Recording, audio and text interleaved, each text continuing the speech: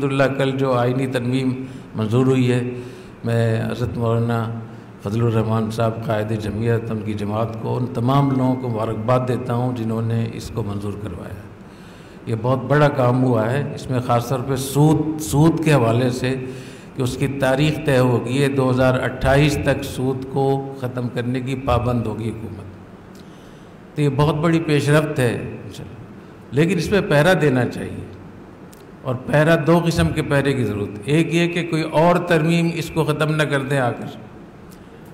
क्योंकि ये जितने भी लोग होते हैं, जो इन चीज़ों के ख़िलाफ़ होते हैं, उनको पता होता है कि किस किस रास्ते से इन चीज़ों को ख़त्म किया जा सकता तो वहाँ पैरा बिठाना चाहिए कि इसको, इस तरमीम को या इस कानून साजी को मुतासर ना होने दें मअतल ना होने दें। कभी ऐसा होता है कि जो इस्लामी कवानीन पास हो गए हैं, उनको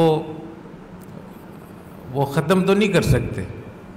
या उनको खौफ होता है कि लोग शोर मचाएँगे, लेकिन किसी न किसी तरीके उसको मअतल कर देते हैं। स्टे आर्डर ले लिया जाकर अदालत में किसको रोक दें? मिसाल के तौर पर। तो इस पर पहरा देने की ज़रूरत है कि 2028 तक चार सालों में पाकिस्तान के अंदर सूद का ख़ात्मा करना ये हुकूमत के ऊपर लाजिम है और हुकूमत से इसको करवाना चाहिए। दूसरी बात यह कि ये जब ख़त्म होगा जबकि मुतबादल इंतज़ाम आपके पास हो।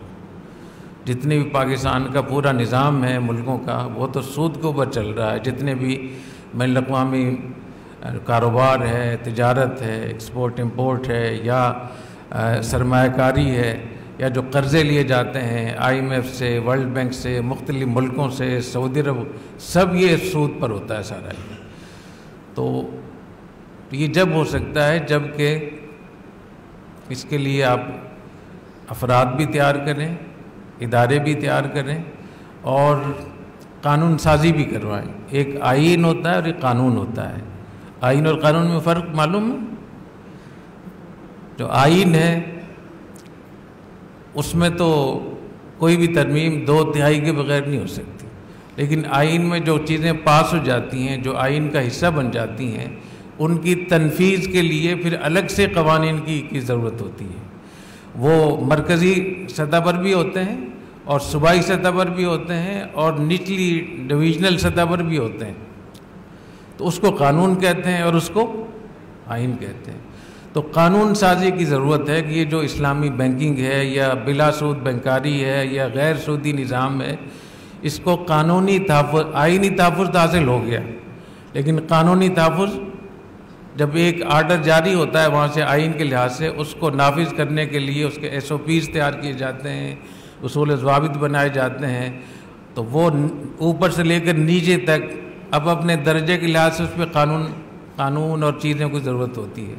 तो कानून साजी की ज़रूरत है ताकि लोगों का सरमाया और लोगों के अमवाल महफूज हो। दूसरे नंबर पे पॉलिसियाँ तब्दील करने की ज़रूरत है। मुल्क की जो पॉलिसियाँ हैं, कानून आपने बना दिया आइन में भी तहफ़ हासिल हो होगी, लेकिन पॉलिसी नहीं बदली। तो पॉलिसियाँ जो इदारे ऐसे हैं जो मुल्कों से लोन लेते हैं, वो इदारे जो दूसरे मुल्कों से सरमाकारी लेते हैं तो ये पॉलिसियाँ होती हैं। तो इन पॉलिसियों को तब्दील करना चाहिए। कोई भी इदारा पाकिस्तान का, वो कर्ज़ लेने में सरमाकारी में, वो पॉलिसी बनानी पड़ेगी इसके लिए। तो पॉलिसियाँ वो सूद नहीं लेगा। तो पॉलिसियाँ बनानी चाहिए, कानून साजी होनी चाहिए और मुतबादल इदारे और अफराद तैयार करने चाहिए। फिर जाकर ये सूद का ख़ात्मा हो।